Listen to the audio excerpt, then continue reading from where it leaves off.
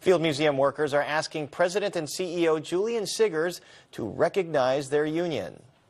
My coworkers and I are asked to do so much in service of passion, science, and a noble cause.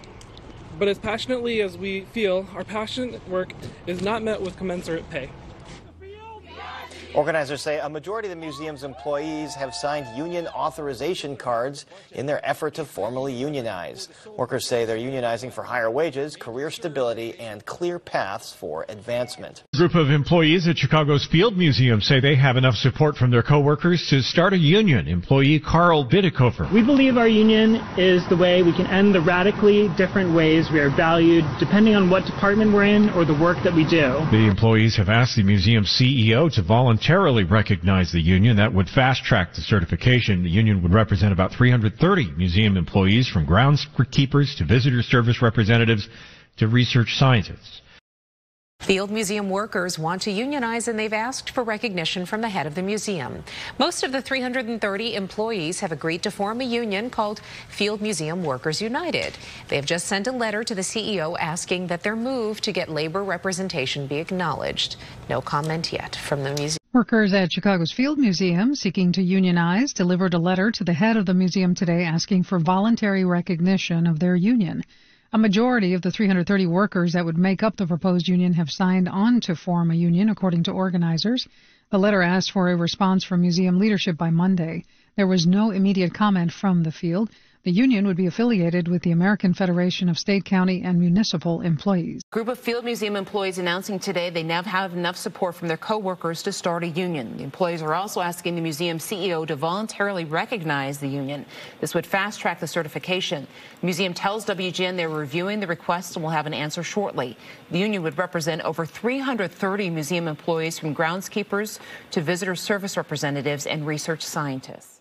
View workers gathered outside the Field Museum this afternoon to demand management recognize their union. Meanwhile, representatives from the museum did not immediately respond to claims by those workers that management has adopted improper anti-union tactics. Respect our voice, respect our choice.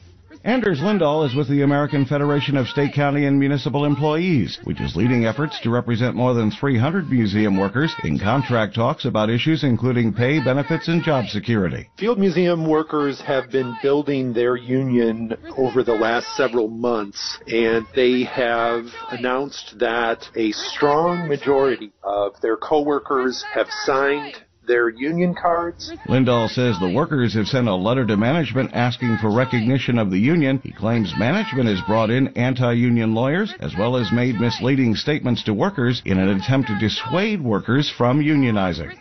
Jim Goodis, 1059 WBBM. We're Employees at the Field Museum want to unionize. They've asked the head of the museum for voluntary recognition. The museum says they are considering the request and will respond shortly. Hundreds of employees announced last month that they're forming their own union. They say they have faced low wages and high turnover, which leads to a greater workload. Well, no comment yet from folks at the Field Museum to allegations from workers there who say the cultural institution is illegally trying to keep them from forming a union. Respect our voice, respect our choice. Anders Lindahl is with the American Federation of State, County, and Municipal Employees, which hopes to represent workers at the Field Museum in contract talks over issues such as pay, benefits, and job security. He says field management has taken several steps to thwart unionization efforts. Workers are being threatened with loss of their benefits or loss of their flexibility if they exercise their right to form a union. They are being given misinformation and falsely told they're not eligible for union representation. Lindahl says workers have sent a letter to field management asking it to recognize the union. If that doesn't happen, Lindahl says the workers will seek intervention from the National Labor Relations Board. Jim Goodis, 1059 WBBM.